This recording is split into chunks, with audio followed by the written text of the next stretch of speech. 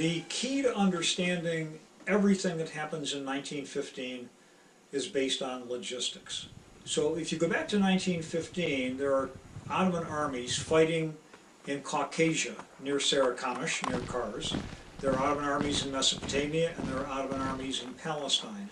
All of the logistics, all of the supplies, ammunition, food for those armies comes on roads and railroads all the way from Constantinople or Istanbul. If those lines of communications that go back to Istanbul are cut, that means that no supplies. The Armenian revolutionary committees have active cells in many of the eastern cities that are directly on these lines of communications or the roads. Amerika Birleşik Devletleri'nin eski Almanya elçisi James Gerard, Ermeni çetelerinin savaşta oynadıkları rolü şu cümlelerle özetliyor. Ermeniler, Birinci Dünya Savaşı'nın kazanılmasına katkı sağladılar. 50 bin kişilik güçleriyle 250 millik Kafkas cephesinde Alman-Türk birliklerini tutarak onların Orta Asya'ya gitmelerini önlemişlerdir. The army had been defeated in Sarikami. There are Armenian legions coming over with the Russian army. There's the Van Rising. All sorts of little episodes around in eastern Anatolia. You can very well see how they would say, look, uh, move the Armenian population. And the Russians were doing the same sort of thing on a smaller scale on their side of the line. İlk önlem Zeytun ve Maraş bölgelerindeki Ermenilerin Konya'ya sevk edilmesi oldu. Ardından komite hücrelerine baskınlar düzenlendi. Yurt genelinde yapılan aramalarda Ermenilerin genel isyan hazırlığında olduğu ortaya çıkmıştı.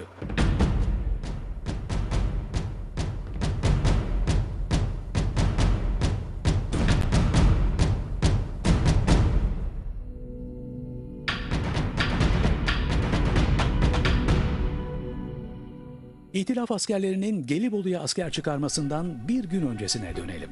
24 Nisan 1915. Osmanlı hükümeti adına Dahiliye Nazırı Talat Paşa bugünkü tartışmalara neden olan kararını verir. İmparatorluk topraklarındaki tüm Ermeni komiteleri kapatılır. İstanbul'da devlet aleyhine faaliyette bulunmak suçundan Taşnak, Hınçak ve Rangavar örgütlerinin 235 yöneticisi tutuklanır. Ancak şehirde yaşayan ve nüfus kayıtlarına göre sayıları 77.735 olan Osmanlı Ermenisinin hiçbirine dokunulmaz. Savaşın sonunda İstanbul'daki İngiliz Yüksek Komiseri Amiral Kartorff'a gönderilen şifreli telgrafta şöyle yazmaktadır. Tutuklanan Ermeniler, müttefik ordularına hizmet eden Ermeni gönüllüler veya Müslüman katliamı sorumlularıdır. The Ottoman Empire was an empire. It was made up of, you know, different groups of Christians, Jews, uh, Greeks, Armenians, Bulgarians, Bosnians, whatever. And for most of its 600 year history, these groups lived more or less peacefully together. In some periods, extremely so. I can't even recall the number of Armenian ambassadors, Armenian ministers in the government. Uh, it was extremely large. Among all of the non Muslim peoples ruled by the Ottoman Empire, the only ones who spoke Turkish were the Armenians. When American missionaries began coming into the Ottoman Empire in the 1830s, one of the things they did was translate the Bible into Armenian, only to discover that nobody could read it. Because, and then they had to translate it into Turkish. Bir.